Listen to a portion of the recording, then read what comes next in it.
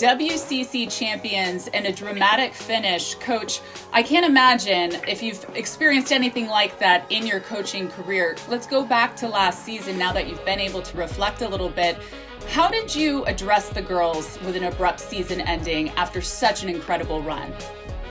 Yeah, I mean, definitely was like a, a magical run that, you know, I think really started in the beginning. I think it was such a just a great ride, and and I think as much as anything, what a what a great experience I think we had with one another. So, you know, I think really that was probably where our message was is um, as disappointing it was not to be able to play in the NCAA tournament. I think that our team and our group had so many fantastic memories, and you know, being able to uh, you know walk off the court, I guess, with a with kind of a celebration, I, I think is a great way to end the season. Uh, not not what we wanted, of course, but I think our group kind of chose to focus on the positives of what happened instead of focus on the things that didn't happen.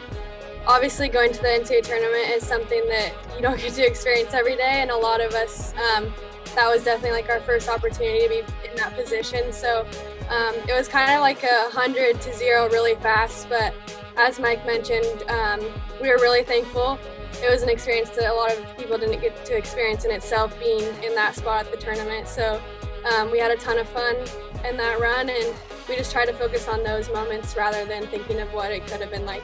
So many that are returning. You did lose what some would say is your vocal leader. Who's really stepping into that role right now? Who do you expect to be the vocal leader, coach? You know, I think we have a combination of just great leadership, and I think on great teams, it's it never really comes down to one player. It, it's a combination of the collective group, and the the thing that this group, I mean, it, it's just there's so many different aspects to leadership, and I think we have so many different players that bring those different things that I couldn't really put it on one person. Obviously, Kate was a great leader and, and had a tremendous senior year.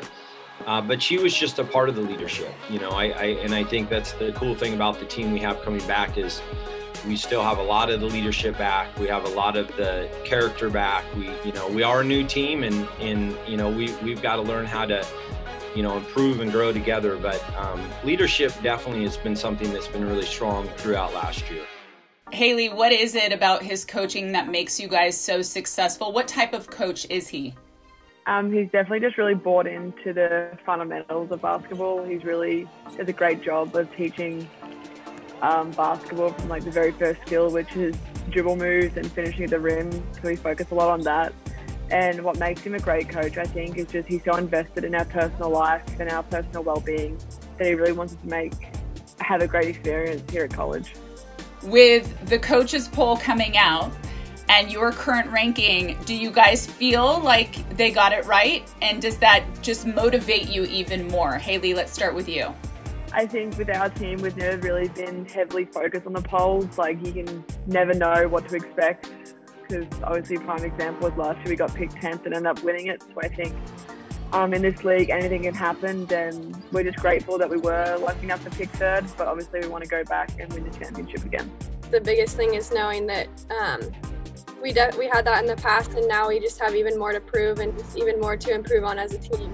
Um, and just trying to focus on ourselves and just continuing to get better and just like get better from what we did last year um, and just focus more into the future rather than keeping looking at the past. But we're excited, um, and it will definitely be good um, to keep getting better from there. Coach, do you put much into the polls? You know, I, I, I love the fact that, you know, the coaches, I, I feel like have put our team in a lot more respect, I guess, than, than where we were a year ago. But at the same time, not really.